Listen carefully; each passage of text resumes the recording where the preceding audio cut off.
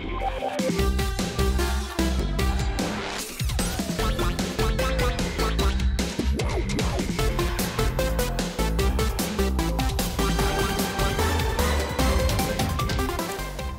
vakaras.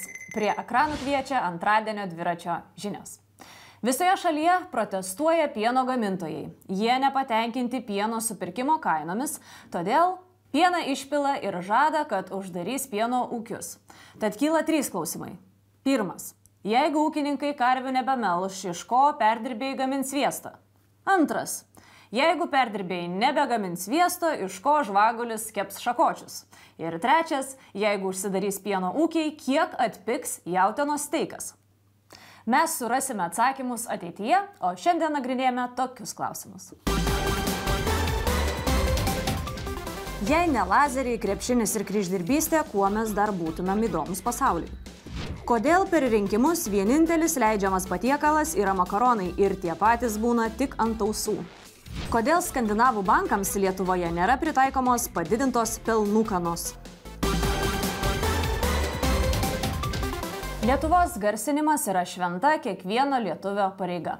Aiškinti mūsų šalies vietą ant gaublio, pasakoti apie kunigaikščius ir sabonį, ar bandyti sudainuoti sutartinę užsieniečiui, esame ko gero bandę visi.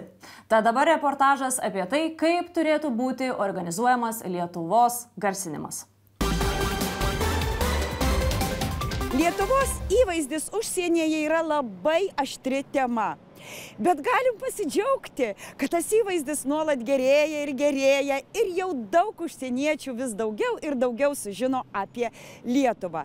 Taigi, koks Lietuvos įvaizdis, kaip garsinama Lietuva pasaulyje šiandieną ir kalbėsiuosi su asociacijos prikastas liežuvis pirmininku Gedriumi Savicku.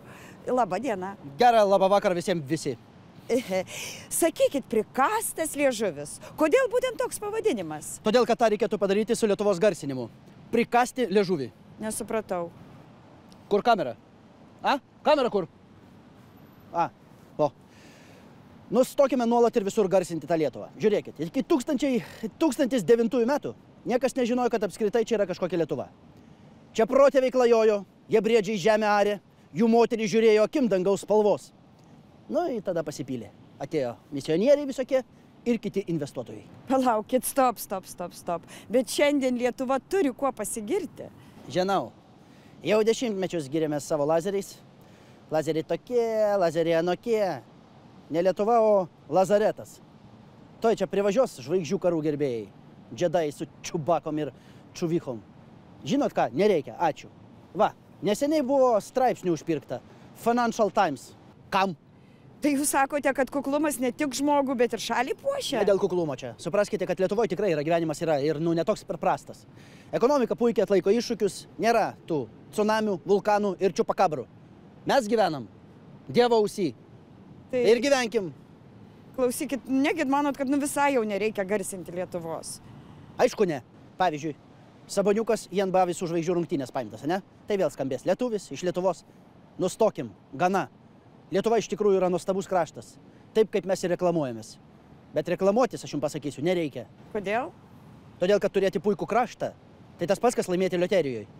Laimėkit loterijoje ir iškart pamatysit, kaip visi supuls prašyti pagalbos, paskolinti, paukoti.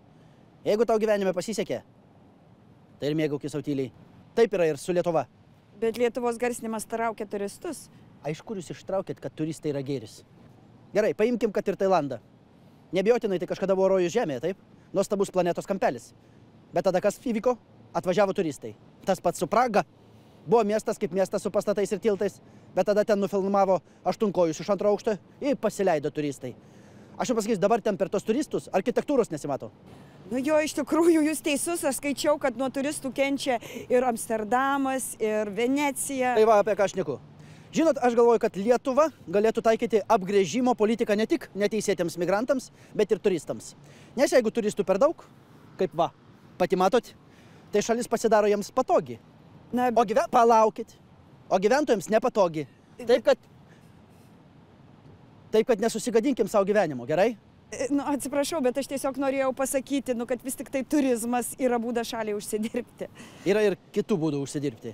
Eikit va į tuos garsiosius mūsų lazerius. aš noriu pasakyti jums, neparduokim savo šalies grožio. Čia juk tas pats kaip parduoti žemelę užsieniečiams. Todėl aš visada džiaugiuosi, kai sumažėja skrydžių į Lietuvą ir iš Lietuvą. Čia neturi būti patogu atvykti. Na bet palaukit, ponas Gedriau, nu kaip tada užsienio investicijos? Reikia garsinti šalį, kad pritraukti tas investicijas. Čia ir vėl žiūri mane iš tos pusės. Ne mes turime pritraukti investicijas, o investuotojai turi prašytis priimami pas mus. Kodėl mes turime kartis investuotojų ant kaklo? Jeigu savilioja Lietuva kaip iš didžio gražuolė. Tai Lietuvos garsinimas yra nenaudingas pačiai Lietuvai? Čia taip reikia suprasti. Ne, tai gerai, prisigirkim, kaip čia viskas puiku. Koks UNESCO paveldas Kernavėje, kokie geri neringos paplūdimiai su vėlina vėliava, ar koks patogus Klaipėdos kruizinių laivų terminalas. Tai kokiam Putinui nervai neišlaikys. Tas taigi negali pakesti, kai kas nors gražiai gyvena. Tai būtinai turi viską sugriauti. Tai Lietuvos negarsinimas yra tiesiog nacionalinio saugumo klausimas. Jau matau, biškiai aiškėja kažkas mažoji gal, galvelėje, ar ne? Būtent, dabar dar. Vilnius mūsų. 700 metų jubiliejų čia šventė, ne? Nu, tai gerai. Nu. Švesk, švesk. Ašgi nieko nesakau. Nu, bet aš švesk ramiai. Tarp savų, šeimos rate. Tai ne. Apsiskelbė per visą šiaurės pusrutulį. Tai kaip tik naudokime tuo, kad Lietuvos sostinė daug kas, nu, tebe laiko Rygą. Tokiu būdu galėsime saugoti Vilnių kaip nedidelį ir tylų karališką miestą. Tai ką po Vilnių jūs siūlo daryti? Aš pasikartosiu. Aišku, nemėgstu kartotis, bet pakartosiu. Prikasti liežuvį. Kai Eurostato lentelėse Lietuva gerina savo rodiklius, prikaskime liežuvį. Kai čia gerėja korupcijos suvokimo indeksas, prikaskime liežuvį. Kai čia didėja žiniasklaidos laisvė, prikaskime liežuvį. Ir net Rūta Milutytė laimi auksą, prikaskime liežuvį. Džiaukimės ir mėgaukimės to patys. Na kągi, labai dėkojame Lietuvos negarsinimo entuziastui, ponui Gedriui. Ačiū Jums. Bandykime čia ramus mes gyventi ir numirti. Ir prisikelt bandykim po vasaros žalsvos. Nujausdami, kaip niekad nereikės mums įsiskirti, vieni kitiems dėkokim, nes esam Lietuvos. Sigitas Geda, rašyta 1985 metais. Pasiklausykim poeto. Ei, palaukit, palaukit dar.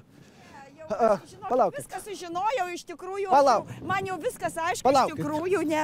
Žiūrėkit. Reikia, aš galvoju, kad reikia uždaryti sienas, kad ne e, invaziniai, pavyzdžiui, patiekalai. Tiesa? Taip. Visur meniu su visokiais. Nu, bet invaziniai patiekalai nepasidaugina, va invaziniai augalai yra gal sudėtingiau. Tai yra invaziniai patiekalai. Burgeriai, e, gnočiai ir lazanai. Nazari, kodėl Lietuvoje dar neatsirado Bonnie ir Klaidas? Bonija Klaidas, čia šitie bankų plėšikai. Teisingumo reikeliai. Banko apiplėšimas šiais laikais turėtų būti laikomas šventų darbų, geros valios aktų ir tikrojo geraizmu. Tai tik neįsibėgėkit čia. Bankų plėšikams turėtų būti įteikamas ordinas, renta, aklebonas turėtų jas pašventinti su krapyla. A, tai supratau, tai čia apie tai, kad čia bankų pelnai labai išauga ir bankai gali uždirbti milijardus eurų. Uždirbti.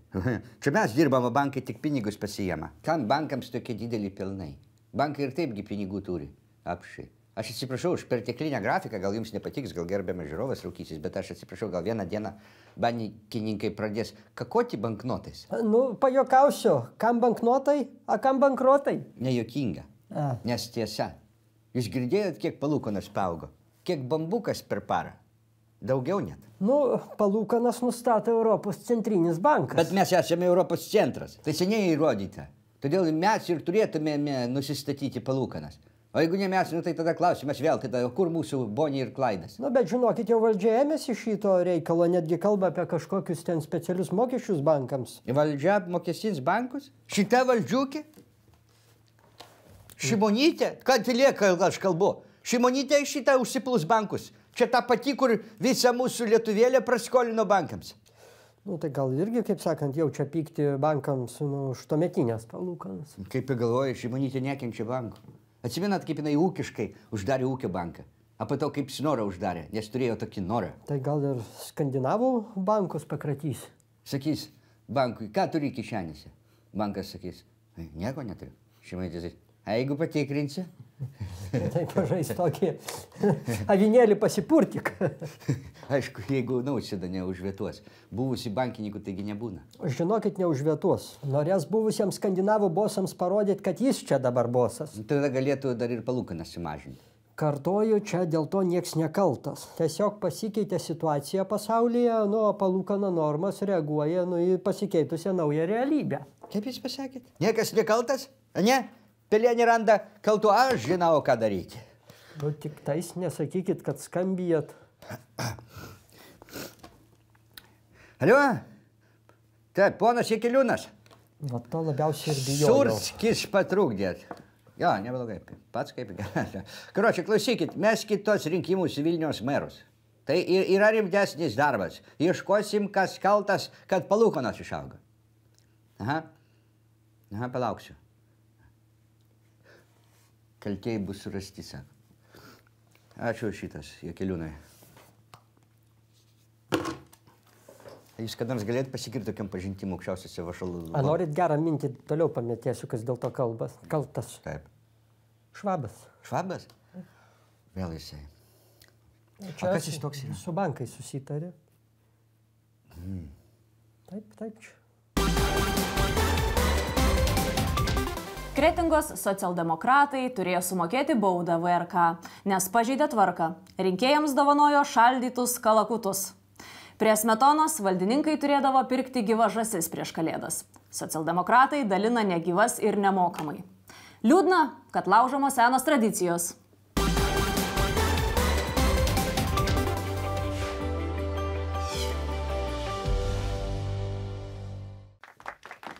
Labas vakaras. Eterija landa surūta laida, kuri nekuria skandalų, bet jais mėgaujasi. Kretingos socialdemokratai pažeidė galiojančią tvarką, kai dalino žmonėms šaldytus kalakutus. Kodėl būtent kalakutus? Kodėl jie buvo šaldyti? Kodėl socialdemokratai ignoruoja vištieną, antieną ir strutieną? Klausimų daug, o atsakyti juos atvyko socialdemokratų partijos politinio idėjinio darbo specialistė ponia Larisa. Labas vakaras. Labas vakaras. Labas vakaras, gerbiami kairiųjų pažiūrų žiūrovai. Mūsų žiūri visų pažiūrų žiūrovai. Nu, e, su visom kitom aš net nekalbu. Gerai, tai a, sakykite, kasgi vis tik ten buvo su tais kalakutais kretingoje? Nu, galiu pasakyti tik tiek. Ne, ga galiu pasakyti tik tiek, kad kalakutai buvo šaldyti ir mes juos, nu, padovanojom rinkėjams. O dabar vyriausiojo rinkimų komisija sako, kad mes negalėjom taip daryti. Nu, kad mes, bože, būtume mes žinoję, kad čia problemka. Nu, tai vieną kalakutą būtumėm padovanoję pačiai VRK. Kyla pagristi klausimai, ar tai nebuvo rinkėjų papirkinėjimas? Oi, nu bože. Gerbimieji, nu kas papirkinėja su kalakutom? Papirkinėti reikia pinigais, butiliais. Visi seniai tą žino. Todėl mes, Lietuvos socialdemokratai, jau paruošėme naują tvarką, ką galima dovanoti, o ką dovanoti rinkėjams negalima. Tai kad nieko negalima. Nu tak vot, čia ir yra visa didžiausia problemka. A kaip dabar rinkėjus gali atskirti vieną partiją nuo kita? Turbūt pagal programas, ar ne? A bože, a jūs jas skaitot? Prisipažinsiu atvirai, tikrai ne. Nu vot, tak niekas neskaitosis. A ne, klausykitės, socialdemokratų programą aš pati neskaičiau, nors pati ją rašiau. nu, vat, ir jeigu mes leistume šį bei tą žmogoms pa padovanoti rinkėjams, tai pagal tai galima būtų atskirti, kur ir ką, kokia partija siūlo. Gerai, uh, sakykite, prašau, kokios tai galėtų būti dovanos? Nu, tak dovanoti galima tik tai tai, mhm. kas yra valgoma. Ta, тогда tai bus не, не, не pakiša, не davana, o prosta vaišės. Tai jūs norite pasakyti, kad partijos galėtų vaišinti žmonės savo rinkimų kampanijos metu, ar ne? pagal VRK iš anksto patvirtintą meniu ir tada mes galėtumėm pasiskirstyti. Nu, pavyzdžiui, konservatoriai, pavyzdžiui, siūlytų gaminius su cukrum. Patamu, nes nuo jų valdymo saldų tikrai niekada nebus. Skvirnelis galėtų vaišinti žuvim, nu, kurį parūpino dėkingi rusnės žvėjai. A socialdemokratai vaišintų šaldytam kalakūtam, žvėrieną. Pas mus, žinokite, dar labai daug liko medžiotojų. Gerai, sakykite, prašau, o kasgi pasiūlytų gaminių iš pieno produktų? А вот čia все niekas, потому kad ūkininkai visą pieną išpila von. Tai e, jeigu rinkimų kampaniją mes paversime vaišėmis, tai susitikimas su rinkėjais taps maisto degustacija, ar ne? Nu, bet tai labai gerai, mes pritrauktumėm žymiai daugiau rinkėjų. Mhm. Nu, a tai dabar, klausykitės, nuvažiuoji į susitikimą. Nu, bože, ateina, nu, 20 žmonių. Penki užmiega, užknarko, keturi nieko negirdi, trys galvoja, kad vapšė į mišius atėjo, a kiti lygia klausia, kada Radžis į sceną ateis. E, Gerai, tai jūs manote, kad yra sąžininga, ar ne, rinkėjų širdis pasiekti per skrandį? Ну, да, потому что, kad pirausiais mes jau nieko nepasiekėm. O tada netrodys, kad žmonės tiesiog vat, e, balsuoja už maistą, ne? Kaip jūs manote? Не už maistą, a prie maistą. Nu juk mūsų svarbiausi gyvenimo įvykiai visada būna kur prie maisto. Krikštinai, vestuvė, jubiliejai ir net pakasinas. Visada viskas yra prie maisto. Tai e, rinkimus jūs prilyginate krikštynoms, vestuvėms, jubiliejams ir pakasinams? rinkimai yra, gerbėmėji, demokratijos e, praz... šventė. A kokia šventė be maisto? Vaišinkim rinkėjus, kad jie prieš pasirinkdami žinotų, ko bus šeriami visą kadenciją. Aš teisi? Nu, pavyzdžiui, pas mūsų socialdemokratų partijai moteris лучше всего e, gamina rauginti agurkai. Agurkus? Nu, aš to, čia, žinoma, gal čia labiau tiktų, nu, agurkai darbo partijai, bet pas mus ant sąskrydžio tak būna netgi šitas varžytuvai, jo, kieno a- agurcai yra krypkesni, skanesni. E, Nu, kai užkandi ten. Taip, bet aš galvoju, kad e, prie tokios tvarkos e, bet kokia rinkimų kampanija taptų tiesiog e, rudenėlio šventė.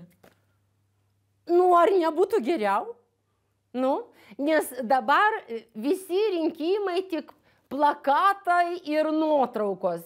Ir partiečiai, žinokit, jau skundosi, kad su kiekvienais metais, su kiekvienom rinkimom vis sunkiau ir sunkiau, nu, tose plakatuose, nu, geriau atrodyti. Na, dar yra debatai. Nu, debatų, tak mes kaip ir batų neatsisakam, bet atsisėskim ne tik tuščiai sausai kalbėti, o kalbėkime prie vaišių stalą. Dėk ne tik nuomonę ant stalo, bet dėk ir silkę į gribuką ir į darytą Ой, боже, э, паприка ir žagarėlių, ir žirnelių ir все такое. Na, kaip aš suprantu, politikos virtuvė tuomet taptų tikra virtuvė, ar ne? Kaip suprantu, jūs visą tai teiksite vyriausiai rinkimų komisijai. Nu, tak taip. Mes suprantame, nu, kad iškart gal ir nesutiks, bet tegul paragauja a, to, nu, o tai yra, e, tegul ne tik agurkų, bet ir pasiūlymą, a gal patiks.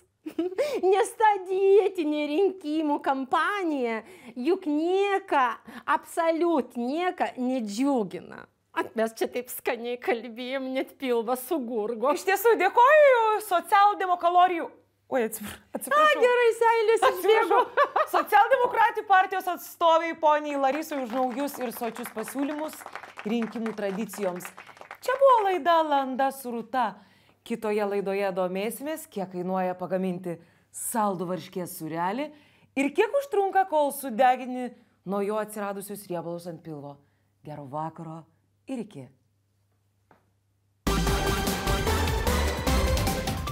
Mažiukas, ar jūs girdėjot naujieną, kad gerbiama Regitra paleidžia apyvartą naujus numerinius darinius e, transport.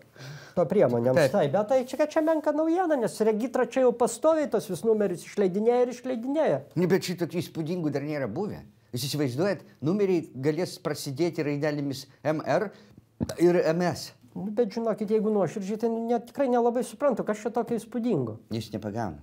Ne. Jūs nepagaunat, kokius išskirtinius numerius aš galėčiau persikalti ant savo sportinės opelės konijos. Nu, man pakanka, kad jau jūsų čia išskirtinių numerių studijoje prisižiūrau, davaliai, leisiu savo taip pajokauti. Jūs gal vietoj to geriau surimtėtumėte ir paklaustumėte mane, kokius aš numerius norėčiau užsidėti ant savo sportinės konos. Tai gal tada pagaliau ir suprastumėte viską. Nu, gerai, nu, tai, tai tada kokius numerius ten labai jau norėtumėt užsidėti ant savo mašinos. Malonu, kad teiraujatės. Reiškia, taip, neišsirenku iš kelių variantų. Nu, pirmutiniausiai mane kaip tais labai domintų numeris e, MRU 002. Žinot kodėl? Gal pats taip neakivaizdiniu būdu esate riomerį baigęs? Nu, vat pusę teisybės tik pasakėte. Norėtumėte tiesiog sužinot visą teisybę? O prašau jums visą teisybę. Aš esu baigęs du riomerius neakivaizdiniu būdu. Dėl to skaičiukas du, suprantat? Mhm. A dabar paklauskite mane, kokiu aš dar numeriu pagėdaučiau. Kokių dar numerių pagydautumėt? Nu tai neišvengiamai su raidelėmis MRS. Tada ir skaičiukų jokių visai nereikia. O jūs paklauskite manęs, kodėl tokios raidelės. Nu, gal jumis pats jau pasakykit. Nes Mister Surskis. Supratot jūs? Nes Mre tai Mister, o S tai Surskis. Reiškia, visi mato, kad ta mašina, kur važiuoja su MRS, tai ją reiškia, įvairuoja Surskis.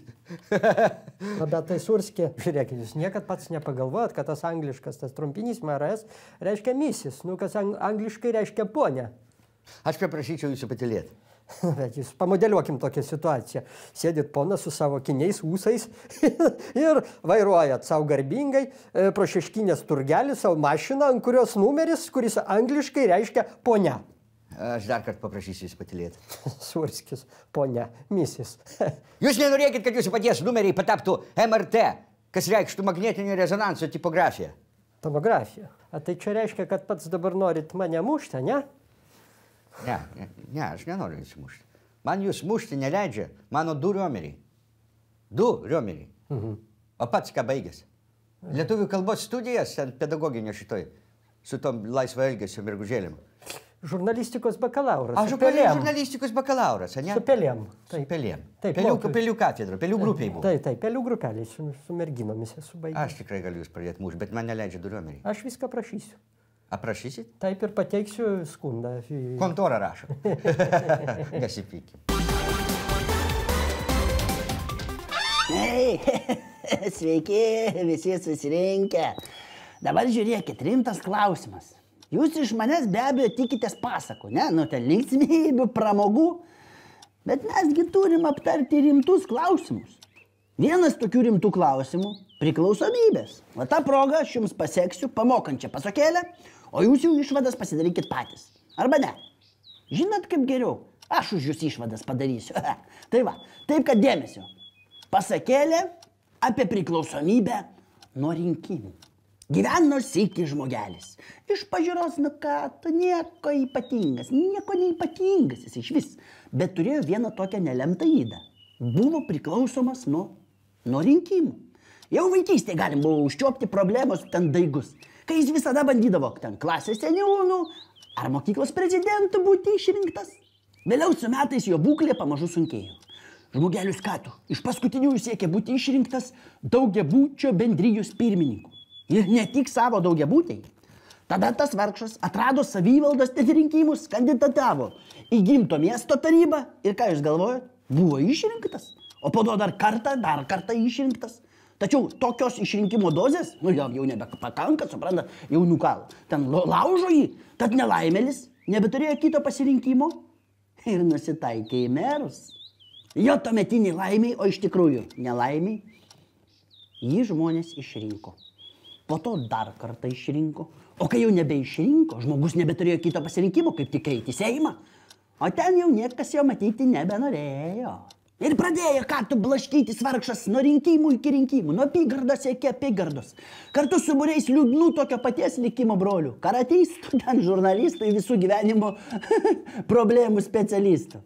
Slankioja būriai liūdnų ten neišrinktųjų nuo krašto iki krašto ir vis dairos. Nu, ar kokio rinkimo apygardai vis švieselė neusidegė? Nu, gal rinkimai artėja? Tai va, o žmonės kalba, kad mūsų paskos herojus dar iki šiol kažkur, žinokit, balateruojasi. tai va, jeigu kada jį sutiksit gatvėje, gink dievę, neimkite iš jo jokių lankstinukų. Neklausykit jokių rinkiminių pažadų. O svarbiausia, jokių būdų netiduokit jam balsų. Viskas, va. Tokia vad buvo pamokanti siaubo pasakėlė. Galit kol kas neik mėgoti, vis tiek neužmygsit. Aš irgi va pasėdėsiu ir pamastysiu. Kaip kartais, nu, žinot, būna gyvenime, kad nutinka tokia...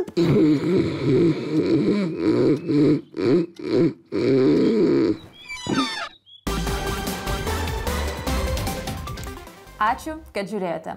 Labai tikimės, kad žiūrėsite mus ir rytoj. Tiesa, rytoj yra tarptautinė tinginių diena. Tai dieną tingėkite, bet vakare vis tiek įsijunkite dviračio žinias. Nes mes netingėsime ir vis tiek paruošime jums laidą. Iki.